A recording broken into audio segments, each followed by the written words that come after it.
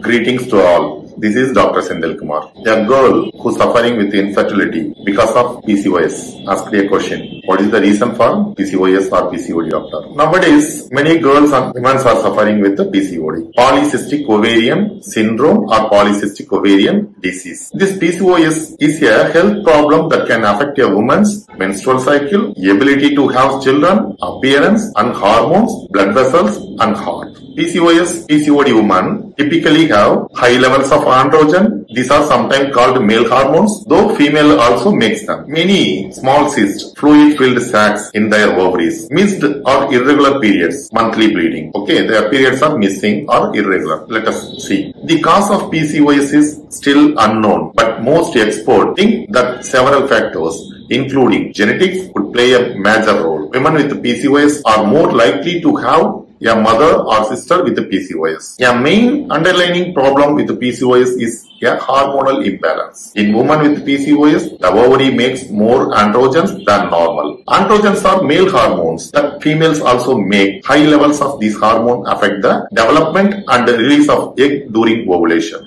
Uh, high androgen levels can lead to acne, excessive hair growth on face, hip and body, weight gain and problems with ovulation, PCOS. Let us see what are all the symptoms of PCOS or PCOD. The symptoms of PCOS PCOD can vary from woman to woman. Some of the polycystic ovarian syndrome symptoms that includes infrequent, absent or irregular menstrual periods, infertility, not able to get pregnant because of not ovulate. In fact, PCOS is the most common cause of female infertility. Male pattern baldness or thinning of hair. Women's getting baldness like male pattern baldness. Thinning of hair is another major symptom of PCOS. This on the ovaries. A small water-filled cyst on ovaries may cause low ovulation and their skin look like very oily and hair scalp may contain dandruff as well as in face acne pimples are common. Weight gain or obesity usually uh, with extra weight around the waist. Skin tags, excessive flaps of the skin, armpit or neck area, another symptoms of PCOS. Pelvic pain. Whenever they are getting menses or before the day of menses, they used to get pelvic pain. Anxiety and depression is another major cause for PCOS. Patches of skin on the neck, arms, breast, thighs that are thick dark brown or black in color. You may look, some female have some kind, kind of discoloration over this neck. Okay. Doctor, how can I find that I have this? You need to undergo proper